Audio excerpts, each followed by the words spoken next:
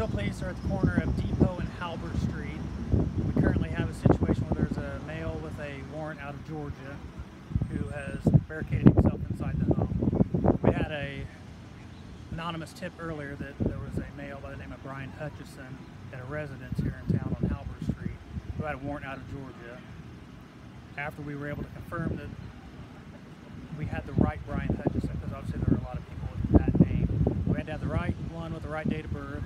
We had to contact Georgia, the specific county, see if they had a warrant, which they said they did, and then we had to ask them if they wanted us to arrest him, if they would come up from Georgia to take him, and they said they would. So after many hours of surveillance on this house, we were able to develop enough information to know that the person named Brian Hutchison that we were looking for was in the home.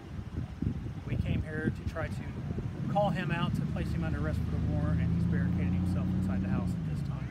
Now there were three other people inside the house, and after about 30 to 45 minutes, three of those people did come out and surrender to us. So there's one person remaining in the house at this time that we know of. And the three people that came out, they're not involved in this at all, correct? Well, they did not surrender to us immediately upon our arrival there, so they're going to face some charges locally for their involvement in, in not cooperating and not Okay. following orders. Okay. Is there anything you want to say about people coming to the area? And so we're at Depot and Halbert Street. One to two blocks north, south, east, and west of that location we have shut down. We're not able to get into that area. and you don't know for how long, correct? We're still in negotiations right now to try to get this person to surrender himself to us. What agencies have responded so far? We have asked the Terre Haute Police Department for their assistance with their special response team.